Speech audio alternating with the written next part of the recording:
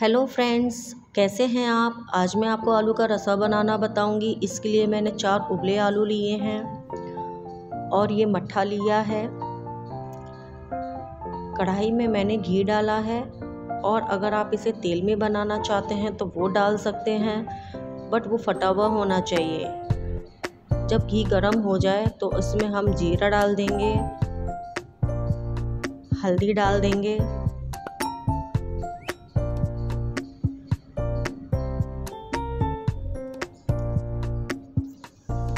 और लाल मिर्च डालेंगे। जब ये तीनों भुन जाए तो हम दो कटोरी के करीब पानी डाल देंगे। गैस फुल पर होनी चाहिए। अब इसमें हम उबले हुए आलू आलू हाथ से मसल कर डाल देंगे।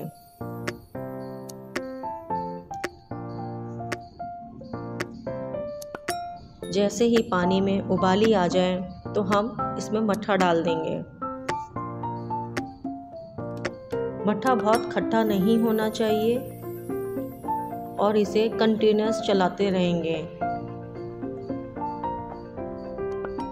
जब तक इसमें उबाली ना आ जाए। अगर हमने इसे बीच में ही चलाना छोड़ दिया तो ये सब्ज़ी फट जाएगी।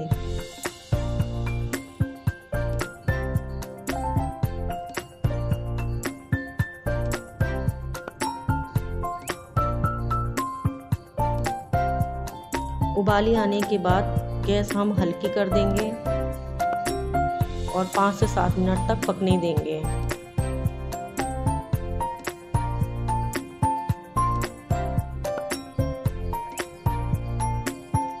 पाँच से सात मिनट पकने के बाद इसमें हम नमक स्वाद अनुसार डाल देंगे और हरा धनिया डालेंगे।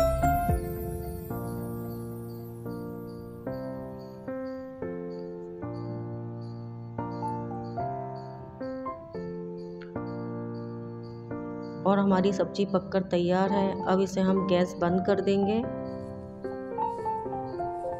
इसे आप पूरी, पराठा, रोटी किसी के भी साथ खा सकते हैं। आपको मेरी ये रेसिपी कैसी लगी, कमेंट करके ज़रूर बताएँ। Thank you